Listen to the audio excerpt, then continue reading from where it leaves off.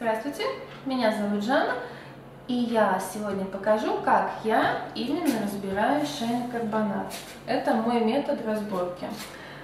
Э, у меня шейка, купила на базаре, я ее обмыла уже в воде, ну и сейчас покажу. С этой шейки у меня получится мясо для шашлыка, которое я буду готовить, и на котлеты. Вот. Режу довольно-таки такими толстыми кусками, чтобы потом можно было эти куски разрезать на шашлык. Вот так. Отделяю от пленочки. С такой шейки примерно получается кусков 30 шашлыка. Чистого, без жира, без пленочек. Я люблю его очень чистый. Тогда шашлык получается хороший. Ну, а такие маленькие вырезки я для фарша оставлю.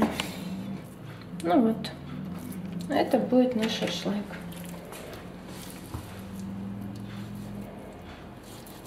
Здесь тоже еще можно выбрать карбонат, несколько кусочков пожарить, если хочется.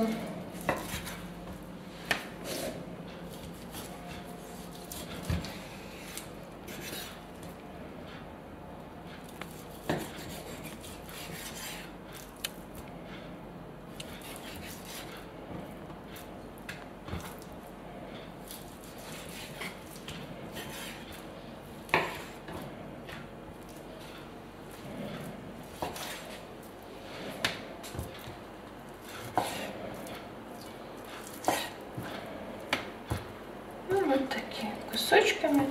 И так всю шейку. Потому что я использую основном для приготовления только шейку. Она очень выгодна, мне нравится. Чистые, красивые мясные кусочки, сочные всегда получается. И шашлык очень хороший.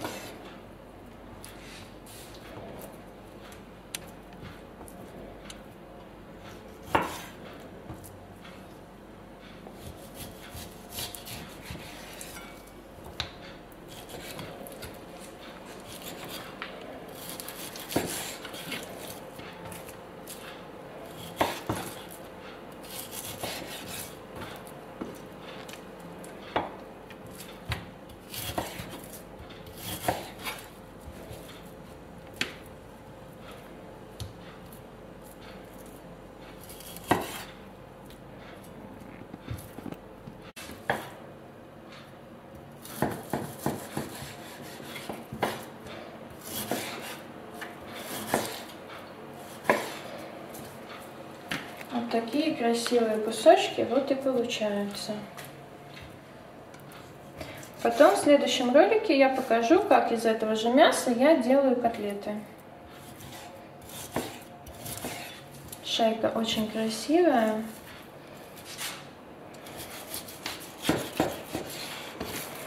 Можно, конечно, еще, я слишком богато ложу мясо, можно еще разрезать там для гуляша, для плова кусочки мяса.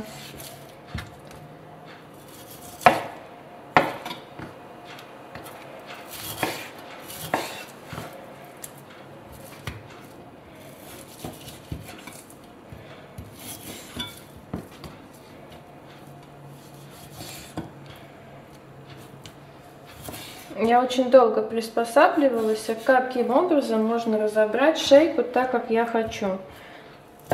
Вот и это мой метод.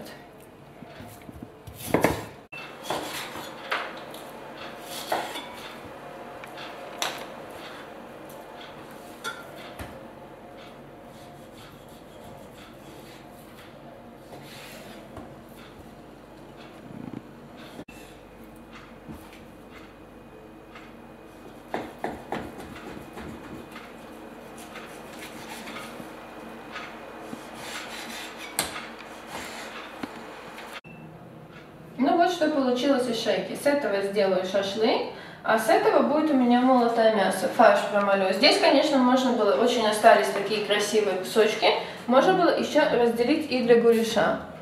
Так что получается очень много. Почти половина получилось бы вам чистого мяса для гуляша и еще для молотого. Вот так вот получается шейка свиная.